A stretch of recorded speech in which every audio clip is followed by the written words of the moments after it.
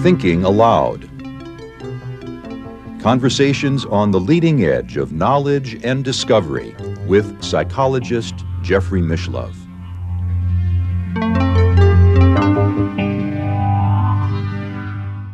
Hello and welcome. I'm Jeffrey Mishlove. Today we'll be exploring after death communication. My guest is Marla Frees, who has worked for 25 years as a successful television and stage actress. She is also co-host with Whitley Strieber and his Dreamland radio program. She participates in teleconferences with physicist Tom Campbell, author of My Big TOE. She works as a psychic medium, appearing in cities across the country, presenting messages with Marla to small and large groups, educating people about intuition and connecting them with deceased loved ones. She is author of American Psychic, a spiritual journey from the heartland to Hollywood, heaven, and beyond. Marla lives in Southern California, and now I'll switch over to the internet video. Welcome, Marla. What a pleasure to be with you once again. Oh, Jeffrey, thank you so much for having me back. I love it. You were one of the entrants in the Bigelow Institute competition. I, I know you were not one of the finalists, but as far as I'm concerned, your essay is a winner. It is a winner with me, and I want to review it with our viewers because I think your experiences uh, say a lot of well, let me put it this way. Your experiences are valuable for everybody. Oh, thank you. You know what? I consider myself a winner being with you and also making the 205 cut. So whatever that means, I'm just glad to be here talking about this. Thank you. Your work, as you describe it, goes back to the to the fact that you had, and we've talked about this in our previous interview, a very troubled childhood. Yeah. And I think that that's what really heightened my sensitivities to be ultra sensitive about my environment. And also, as Bruce Lipton would say, you know, change your environment. Your DNA is not the determining factor here. So I kept trying to change my environment in order to help myself heal. And also, you know, as you know, I had a former career as an actress. That part of my life was really how I saved myself with my mother. Because if I could pretend around her, or if I could get into that television set and be one of those, you know, people on one of the television shows or the commercials that she watched, maybe she'd love me and not hurt me.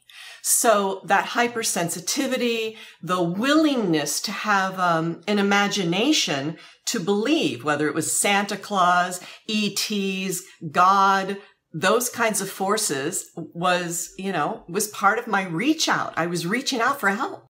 In addition to your problems with your mother, though, the neighborhood in which you live seemed to be troubled by murders.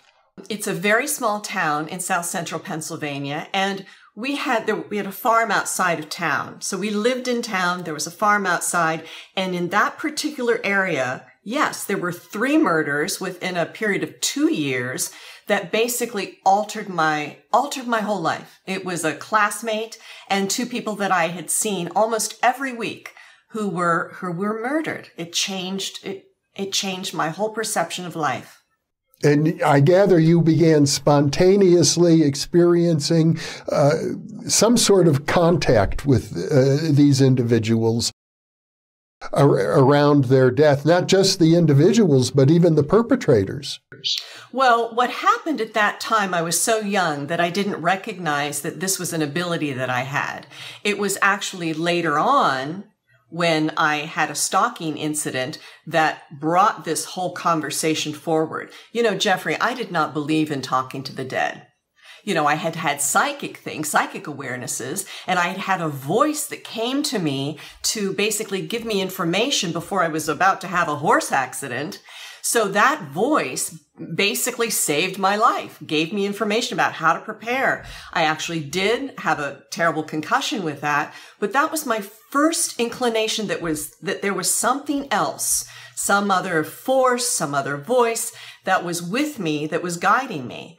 But it wasn't until the mid 90s that I, I had any contact with a deceased person. But it was that, um, it was, it was those particular murders that set me up to be curious. So I wasn't frightened. I became interested in homicide. I watched homicide television shows. And I think that that was the, that was the precursor to being okay with talking to dead people. One of the triggering events in your life, I think, is interesting. It had to do with a friendship you were developing with the famous anti war activist Jerry Rubin, whom I also knew. I had just become friends with Jerry, and we were part of this green movement at um, it was a con- it was a convention and he and his girlfriend and myself we were planning a thanksgiving together and i was going to see him next week and he happened to walk across Wilshire Boulevard a few days later and was hit by a car. And I ended up going into the hospital to see him. There were a few of us that were allowed in the ICU. And I saw him with a traction device on his head, and he had been um, basically operated on and had a suture from below his belly all the way up to his neck. And I really didn't know what to do. So I went back in the room and I, I was praying and asking, you know, what can I do? How can I help him? And I heard, Marla, I'm not coming back. And I thought, what's that? He's not talking to me. Who is that? I didn't believe in talking to the dead. Why would he talk to me? He's got lots of people in this room. Well, the next day he passed. So that was my first, first touching with a deceased consciousness. It wasn't long after that, as I recall, that you sought instruction in mediumship with a, a very well known uh, medium, James von Praagh. Well, the, the interim story there is that that stalking incident that I mentioned earlier, mm this opened up my, you know, it basically sent my antennas out of my head and they never went back down. But there was an incident in the stalking situation because I knew who this stalker was and he had tried to give me a couple of gifts. And in those gifts, I would try, there was a pair of gloves and I tried to put them on and something inside of me said, this isn't right. And I took them off. And then I got a jacket that he gave me and I heard Jeffrey it's not yours to wear. And I was like, what's that? That's not the voice that came to me as a child to save me in that horse accident. This sounded like a woman who was basically telling me, no, honey, that's not yours to wear. So, to make a long story short, I ended up finding out that this gentleman was a con artist. I went public with it, and then he threatened my life, and I had to get law enforcement involved. But I went to the house that he said he'd been staying in.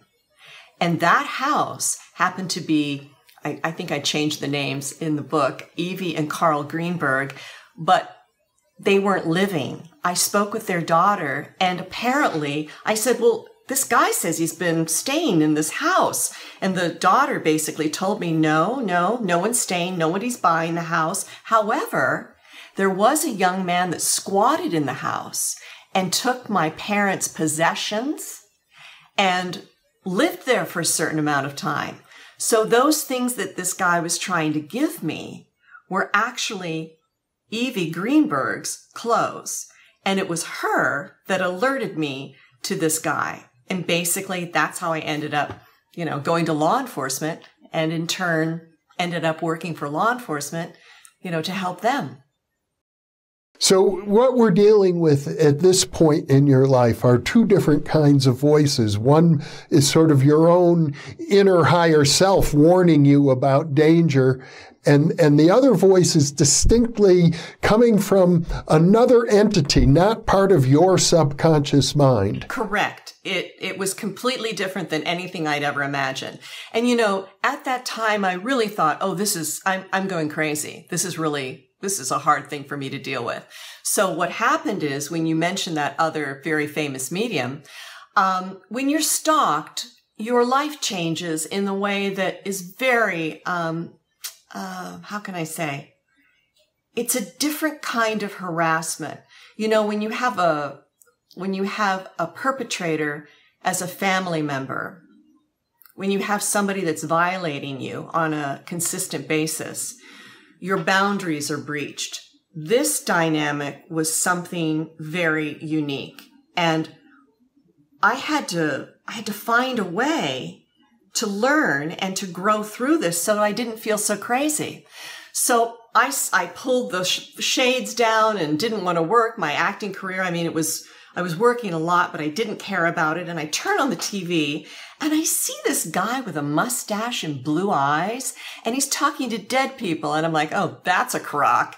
Oh, here's a guy on a television show. I think it was called The Other Side on NBC. And I thought, well, that's interesting. It doesn't look fake. It doesn't sound fake. And these people seem to be looking as though that they are being, you know, really communicating with their deceased loved ones somehow. And at the same time, I got a call from a girlfriend that said, I can't get together with you because I'm going to Sedona with James von Praagh. And I thought, that's pretty interesting. I was watching him on television. And she said, well, you know, you should see him. He'll be, at, he, he will be at the hotel around the corner where you live. So I thought, why not go? I thought, hey, I could be an investigative reporter. Maybe I could out him. Maybe I could see that it's a fraud.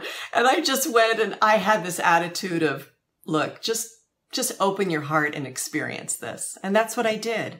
And I came home deeply moved by the entire experience. And I prayed and I said, please tell me what this psychic business is and this talking to the dead. And I had a dream that lasted for four hours of two words, Jeffrey, the center, the center, the center. And that was enough to make you crazy. But that center was something that I was alerted to. And my girlfriend called me and said, How did you enjoy seeing James? And I told her, and she said, You know what? I'm best friends with his personal assistant.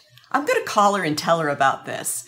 And Jeffrey, I was in James's house within the next five hours because James had been having the same dream about the center as I was.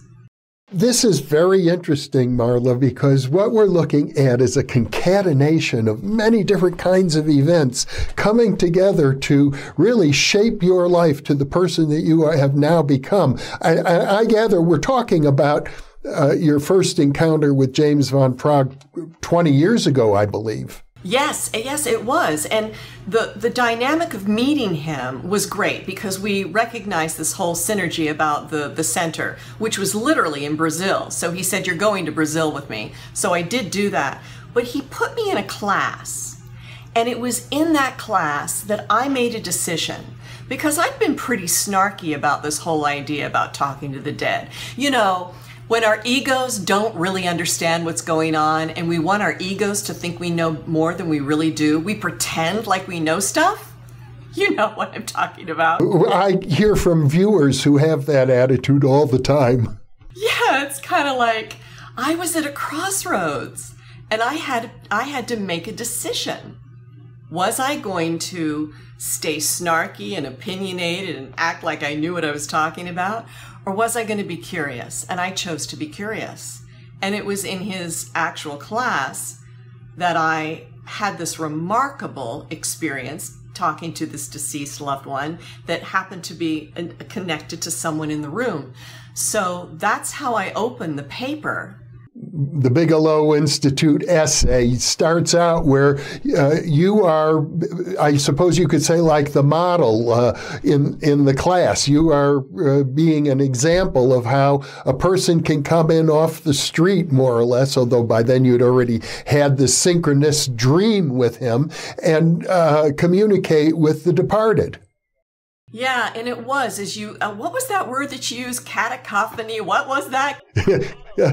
concatenation, concatenation. And, and, what I mean by that is, first of all, you lived in a neighborhood where several of your friends were murdered. You were being abused by your mother. Then you uh, got stalked and uh, had to deal with a, a, very serious and dangerous situation with a stalker.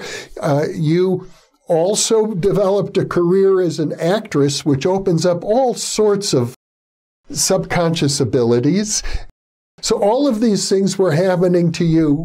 And, and then into your life comes uh, a famous medium, James von Praagh. Yeah. Yeah. And I traveled with him for about three years. We did Brazil. We did Sedona. I, and then I had a snarky attitude about UFOs and those showed up. You know, it's like, it's, in a way, I have to say, you know, be careful what you're, you're, you're really opinionated about because it will come back and bite you in the, you know what. But you studied with von Praagh, and I'm sure uh, you were able to learn a great deal from him.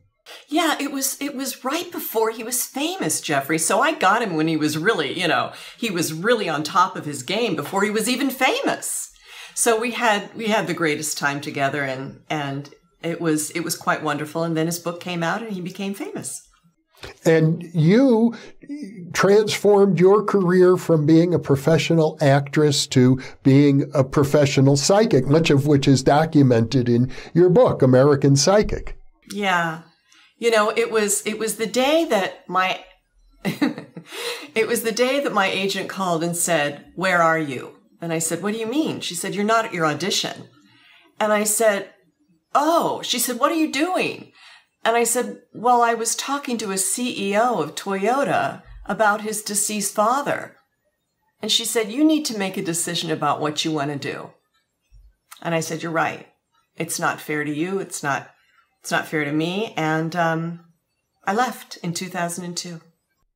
Gave up a uh, very promising career in Hollywood. Yeah, I worked a lot, which was great. I mean, I had great fun. All the top shows of the 90s I did, all, all of the comedies. I didn't think that I would get stuck in comedy, but I was also had, you know, I also had a stage career and I let that go in 2000, uh, wait, 1999. The last show I did was playing Marlene Dietrich. So, yeah, left it all.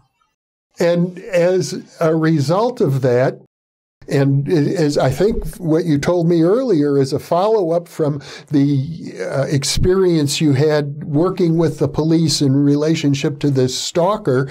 Uh, the law enforcement agencies got wind of your abilities and you began to work with law enforcement.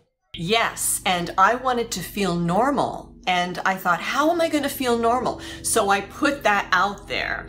I need to feel normal. I need to figure out how I'm going to make sense of all of this. And a flyer about Lyn Buchanan teaching controlled remote viewing crossed my path. And I went to Tempe, Arizona, and bam, that was it. He, he literally made me feel normal for the first time since I had been having this, this, um, new, new world come into my consciousness. Now, Lyn has been a guest on New Thinking Allowed several times. In fact, I will link to uh, one of our previous interviews with him in case some viewers are curious. He's a person who went through the U.S. military remote viewing program. That's where he received his training, and he's become one of the premier trainers himself of, of remote viewing abilities. So you studied with him. Yes, I sure did. And you know, I, I loved it and he had me working on projects. And one of the things that I, I, I always regret this because I never spent enough time doing what we would call technical map dowsing. And we worked together. I would meet him at the airport before, you know, there was so much security at the airport and we would, we would work on cases. And, um, I would love it if we had the opportunity for him to show what the technical map dowsing really is. I would love to do that again with him because that was so much fun. And he taught me so much and I I had to move on because I had been working on a case that was uh, an an a, was on an ongoing serial killer and um, it became really challenging. And I took a break. I fell in love. I got married, but it was also I needed to focus on more of the connection to consciousness in deceased loved ones and helping people with that. But I love, I mean, you know, I go back and train with all different kinds of remote viewing. It's still part of my soul and I love it. And um, I'm forever grateful for Lyn's help. Since we've now talked about your training in mediumship with James von Praagh and your training in remote viewing with Lyn Buchanan, you're in a unique position to be able to compare these two approaches. I think that it's fascinating when when you open up your consciousness to the idea that there's something greater and you become a beacon. It's kind of like, oh, there's another one. We'll give her some more information. I think that it was also going to Monroe because Monroe opened that pathway. So I'd been going for 10 years and the binaural beats, balancing that corpus callosum and holding us in that space so that we could have these extraordinary experiences. And it's not just dead people. It's connecting with other consciousness too. Excuse me, Marla, but you mentioned the Monroe Institute in, in Virginia, based on the work of Robert Monroe, the author of the classic books on journeys out of the body. So, in addition to your training in mediumship and remote viewing, you basically also receive training in uh, what some people like to call out of body experience. Yes, and I only had one out of body experience that felt like it was out of body, where I rolled out of my body, looked at myself, and then took off. So most of my work was really just leaving and having sending my consciousness someplace else, which became very helpful when I was working for law enforcement by bilocating to where a murder was happening, becoming the murderer, um, interfacing as the victim, and doing all of that work what I'm getting from what you just said, that that last sentence of yours was so rich. Uh, it suggests that when you are flexible enough within yourself, your consciousness can go anywhere.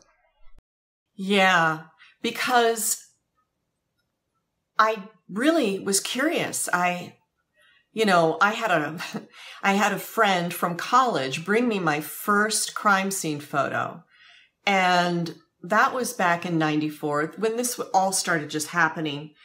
And I held that photograph, Jeffrey. I didn't know what was going to happen. You know, he said, you know, he called me, he said, I heard you become some sort of psychic.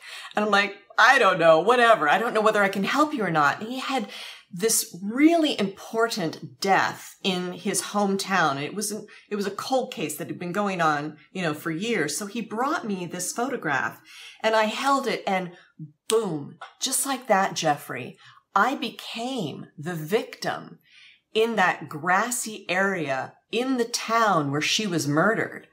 And I gave details about where things were. And in the paper, I basically let, let my friend, um, Rick Coleman basically tell that story about what I was able to do when he brought me that photograph and how it was it was important for him as he was being in his own investigative reporter, but it got everybody else interested. He wasn't saying, Oh, I've got a psychic in my pocket and I've got information here, but he was looking at this 30 year old cold case from a different perspective.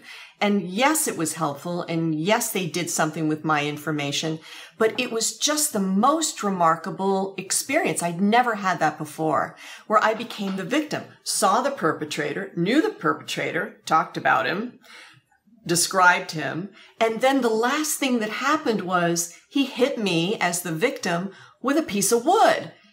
And I was like, what the? You hurt me. And there was a tooth in the grass. And that tooth was actually found by one of the detectives. 30 years after the crime had been committed. Well, I had that awareness. He had found that, um, he had found that tooth within that framework of time because he saw it and put a, a pencil in the ground. But the fact that I would access that information for Mm. my friend. And that's another thing, Jeffrey. It's like there's no reason that I think can think of to do this work unless you're going to help somebody with it. Unless you're going to bring forth some love, some healing, whether it's clues from law enforcement, whether it is um, it's it's to help the you know comfort the grief stricken, whether it is to help heal personal relationships, like with generational trauma. You know, when I when I read your paper, it was that whole Fisher Hoffman situation. And I was thinking, oh my God, that's the generational healing that I have grown to do in my own work uh, in, in these last 10, you know, 15 years. We better step back since you mentioned the Fisher Hoffman training and explain it a little bit for our viewers. Would you like to do that or shall I? No, you do it, please. Oh, oh, all, all right. Since you bring it up, you're referring to one of about uh, 25, I call them white crow examples that I wrote about in, in my essay for the Bigelow Institute competition. And this is a case where a tailor named Robert Hoffman in Oakland, California, who had been a psychotherapy patient of a, um, I believe his name was Siegfried Fisher, a, a psychotherapist who had died. And one day, Hoffman is in bed in the middle of the night and he wakes up and he sees Fisher standing over his bed. And Fisher takes him through a, a psychotherapeutic exercise and then tells him that I now am on the other side and I see my work as a psychotherapist is incomplete. I have a whole new theory of psychotherapy. I've just taken you through the process and now you, a tailor, are going to introduce this form of psychotherapy to the world. And Fisher or Hoffman, the tailor, said, "Oh, how am I supposed to do that? I'm a, I'm just a tailor." And Fisher said to him, "Don't worry, doors will open for you." And that was the birth of what came to be known as the Fisher Hoffman process. And currently, even today, decades later, it's being taught as the Hoffman quadrinity process. But, uh, and, and I show in my essay a very well known psychologist, Charlie Tart, went through the training and described it, uh, or the, I should say, the therapy.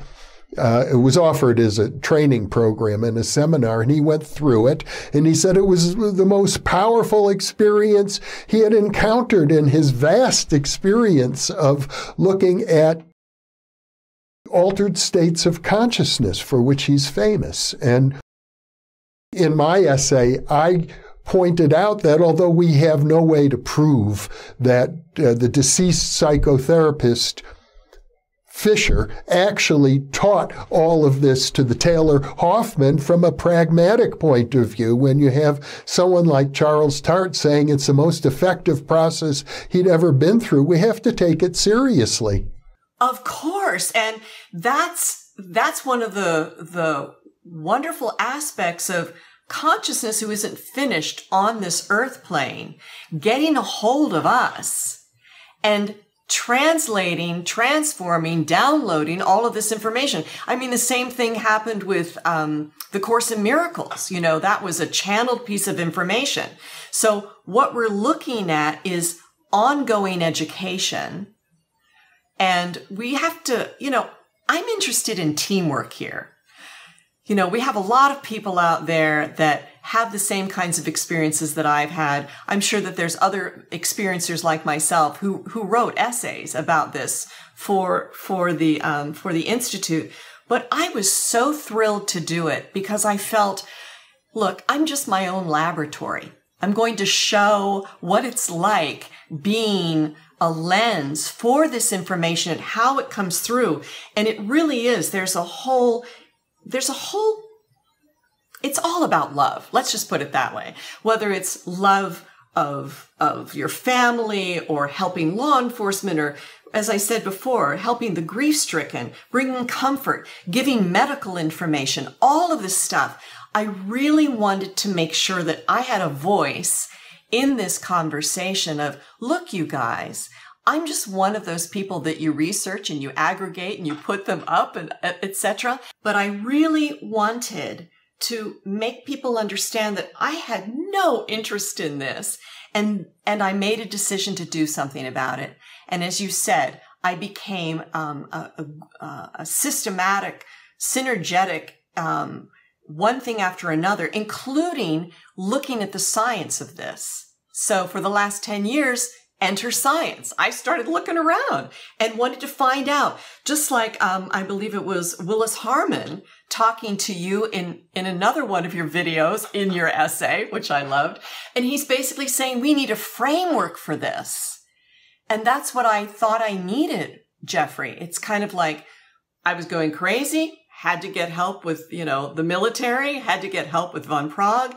And, and I sought help out from a lot of different people. And of course, Monroe, but it was a framework, enter science. Mm-hmm. So many of the other people that were winners, actual winners that got some cash in hand for, from the essay contest were extrapolating all of this and my work with Tom Campbell, who I interviewed on Dreamland, on Whitley Strieber's Dreamland, because I had gone to see him in Costa Mesa. Here was a guy that had trained with Bob Monroe and was actually doing the science um, experiments of what Bob Monroe was doing. And he developed the HemiSync program along with Dennis Mennerich about this. So here's Tom Campbell, a NASA defense guy who did all this stuff with Bob Monroe. I want to listen to him. Of course, it made my head hurt and I didn't understand, you know, reality and, or, or, or vir- vir- virtual reality or simulation. So I had no dog in the fight. I just wanted to learn. And you've really been a serious student of the field since since your uh, encounter with von Praagh. Yes, I have been.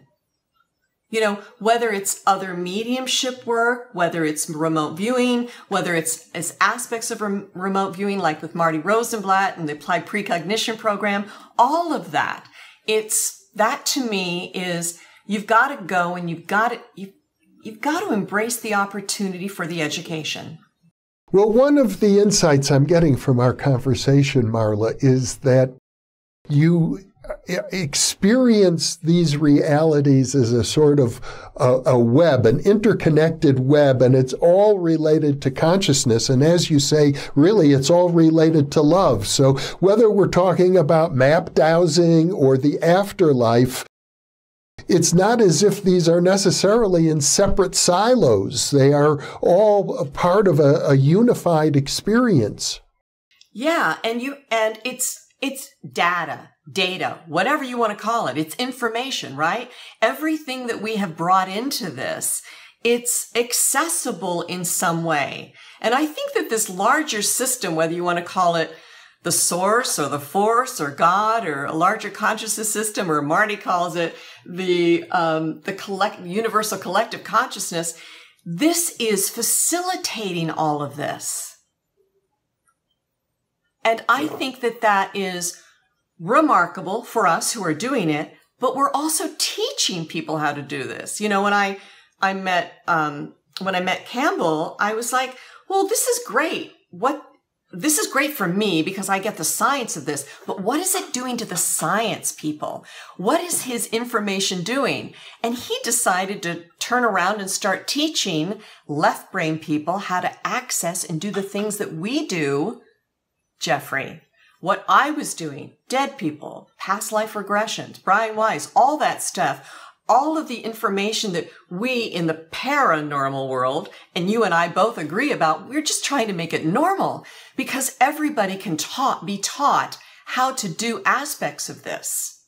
And it seems uh, as best I can tell, what really convinces people isn't to hear a scientific theory explained to them, it's to have a personal experience. When people discover that this is something they're able to do for themselves, it no longer becomes a question of, well, are the skeptics right or wrong? Uh, there's no longer any need to doubt. Right. Well, and that's where your paper, you know, that's what gave you the big job of being the big winner of that paper because you detail all of this. You've had myriads of years of, of videotapes having experts talk about all of this. And in the analogs of time, whether these, um, whether these papers are published and put in, in museums or, or, you know, what are those called? Libraries. libraries, libraries or whatever, or that it's all over the internet. People need to read these and see what's going on because why keep us stupid? Well, and that's one of the real serious points that there's a cost for our civilization when we remain ignorant about the reach and power and nature of our own consciousness. Well, I'm going to bring this in because um, your another part of your your essay is about Elizabeth Kubler-Ross, and I Ooh. I want to share this interesting aspect because we've been talking about other professionals coming and talking and giving downloads. So I'm I'm just going to grab this and take a look at it for a second. But okay. But you know, I have to look at my own book to read this. But uh, when I was at Mon- Monroe, I went to a place that was like a home for me. And the first person that I encountered was a guy that I recognized, but I didn't know who he was. So I walk into this beautiful sort of cabin in the woods and I go, yoo-hoo! And I hear, I'm over here. And he said, I'm John Mack. John Mack was in my personal house on the other side in some sort of meditation that I was doing. Okay, you're in a meditative state. And I did not know who he was. So he basically says, I'm here to prepare this place for you to help you integrate your process with awareness. Therefore, you can take from here and translate this on earth to assist others. And he gestures to these bookshelves and he says, okay, this, these are books on planets, stars, extraterrestrials, and UFOs. And I say, UFOs? And he said, yes. UFO means unidentified family of origin. The credible part of the UFO consciousness is about establishing contact in a soul and mind space to accumulate the knowledge of other worlds, other life forms, in other galaxies. We connect with them for learning and hold all things of love and similar loyalties. This is your family or part of your family of origin that blew me away. And just within minutes, I'm in another room and I'm in a big hall where the woman is dragging this, um, this chalkboard in and she's writing on it saying death equals life eternal, life before the physical. And she turns around and she says, I'm Elizabeth Kubler Ross and we have work to do. So she basically gives me this whole lecture about life after death, the work that we have to do. And she basically says, look, I want you to go to my second book. He's, she says, yeah, go to my second book where I talk about, um, it's in chapter 13 and use your interpretation of this to assist others. Your communication with those on the other side helps people understand that life is eternal. I didn't know what her books were. I had to go home, order them, and they are there. But it's basically, we have more work to do. Well, that's a very good lesson to share with uh, our, our, viewers because I think everyone listening to this video or watching it uh, right now uh, should understand that that's a message for them. We all have more work to do. Exactly. So, as a team, and that's what you keep doing, you keep pulling us all together. And it's not about this person needs to be right or have the answer here. This is what, this is what I just don't understand about any of any kind of community around this where people ride the fence about materialism or or embracing what is really happening in their lives. I know that people need to make money, but my gosh, here's an opportunity. And the contest was a, a, synergetic opportunity for people to bring the most important information in and share it with the world. And I'm just thrilled that you wanted to talk about my paper. So Well, your paper is an outstanding example of uh, the wonderful work being done by people who unfortunately weren't amongst the 29 finalists. There were like 240 entries, and I thought your paper was just outstanding, Marla. And I hope we find ways to make it uh, available widely for people. Wow, thank you so much for saying that. Well, I was I was on fire, you know, and you know how long it takes to put together an essay like that. But I loved it and I really boy, I get really emotional when I think about this. It truly is the essence of who we are. And we just do what we do because we must. Well, beautifully put, Marla. I'm very touched by your passion and your dedication for this work. And I'm also delighted to let our viewers know that we have another conversation in store. We haven't even begun to talk about some of the work you're doing, uh, helping people to interact with this universe of collective consciousness in which we're all embedded. So there's much more uh, coming in the in the future. Thank you. Yes, I can't wait to discuss that with you. Well, Marla Frees, once again, thank you from the bottom of my heart for our time together today.